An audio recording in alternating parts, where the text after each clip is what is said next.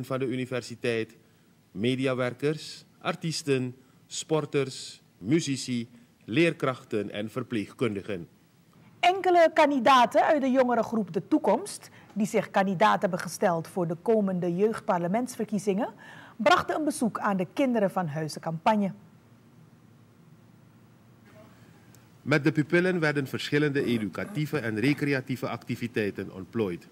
Ook hebben de kinderen kunnen genieten van dansoptredens en een kort optreden van een van de kandidaten, Emmanuel Sanfisi.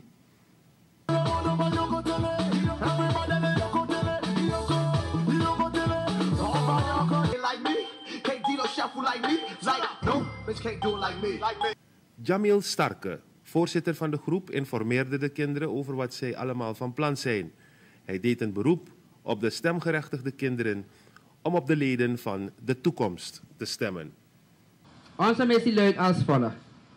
Wij van de jongerenorganisatie De Toekomst zetten ons in voor jongeren voor de optimale ontplooiing van verschillende leefgebieden. Dat wil zeggen, wij zetten ons in zodat jullie zoveel als mogelijk jullie leefgebied, jullie huis kunnen ontwikkelen. Zodat wanneer je thuis bent en mama zeg je bijvoorbeeld, uh, de minister van Onderwijs is, is, is, is, is, is uh, uh, Robert, uh, nee, Regilio Dodson. Dan kan je mama zeggen van nee mama, de minister van Onderwijs is er nu. Daarom zorgen we ervoor dat wij zoveel als mogelijk jongerenontwikkelings- en talentontwikkelingsprojecten houden.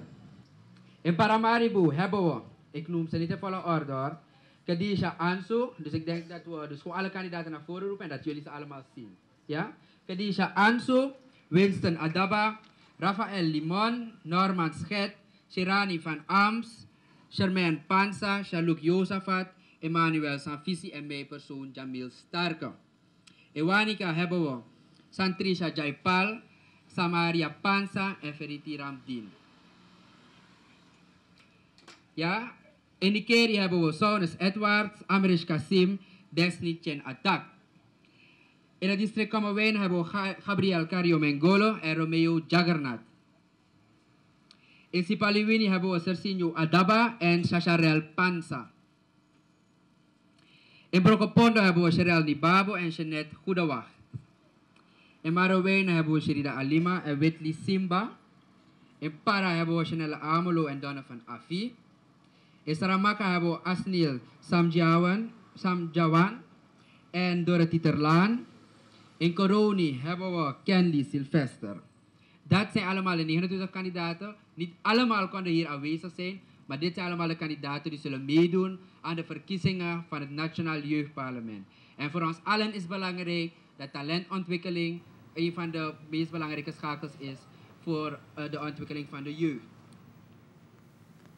De verkiezingen van het jeugdparlement worden op 8 februari gehouden.